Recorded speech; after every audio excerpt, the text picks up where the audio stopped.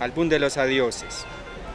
Qué sastre tejió estos cuerpos que nos visten de vida, remendados con lágrimas equivocadas y cosidos con paños y parches de un viejo almacén de baratijas.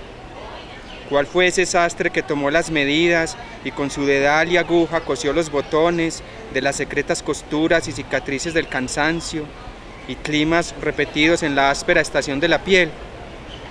Qué extrañas prendas nos visten de vida, tejidas a la medida exacta de cada sed, de cada hambre, del afán disperso de todos los comensales que aguardan el agrio cereal del fracaso.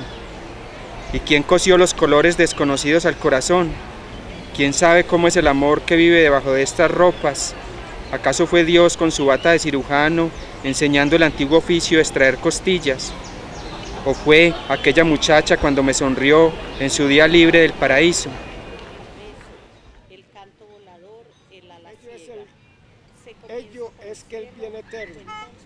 No presentimos en edad temprana, por propia aspiración, sino aceptando de nuestra Madre Madre la fe pura, que es aurora puede ser esplendente asfixia de de los dioses, angustia de saber sobre el fondo de las piedras, sopor de un sol penitente que se burla de nuestra palidez.